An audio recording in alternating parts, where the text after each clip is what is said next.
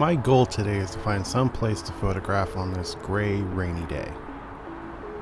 There is absolutely nothing interesting when colors don't pop and every color is muted. So my best option is to drive to places I've never been and explore. And after some time, I find an abandoned building where a restaurant used to be, King's. King's, I think, is like a Denny's, and IHOP, stuff like that. I don't think I've ever been to a King's though. And apparently, not many people are going to King's. Inside, there is still furniture, chairs, and booths.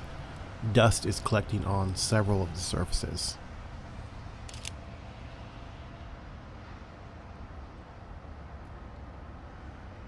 It would have been interesting to go inside and look around, but I am not about trespassing and I'm not going to do that.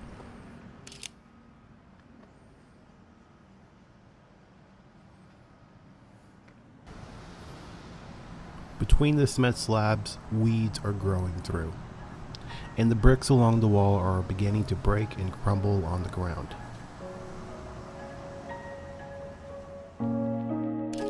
Pittsburgh is a place where there is a lot of urban decay, so there's a lot of abandoned buildings like this. But I'm sure there are older, more dilapidated, and more interesting and eerie ones compared to this one. Perhaps one of those locations are in my future. Thank you for watching.